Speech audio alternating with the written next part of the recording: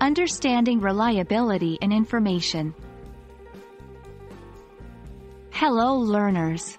Today, we're going to explore an essential topic that often comes up in your English language journey. Reliability. Knowing how to evaluate the reliability of the information you encounter can significantly enhance your comprehension and critical thinking skills. Reliability refers to the consistency or dependability of information. In other words, if something is reliable, it means we can trust it to be accurate and consistent over time. It's like a friend who always shows up when you need them. You can count on them because they're reliable.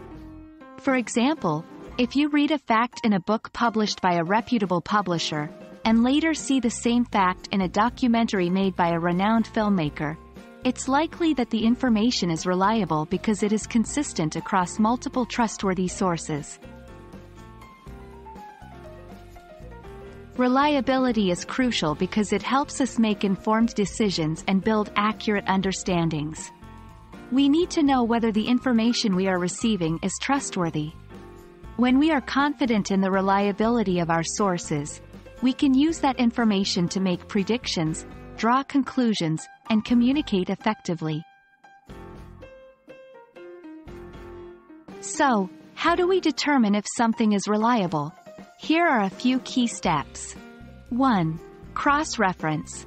Always check if the information is consistent across multiple sources. 2. Consider the source. Where is the information coming from?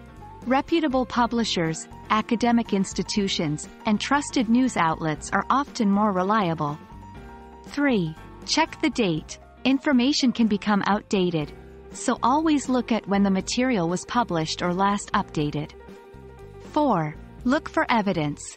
Reliable information often has solid evidence or data backing it up. Remember, the ability to evaluate the reliability of information is a critical skill in today's information-rich world.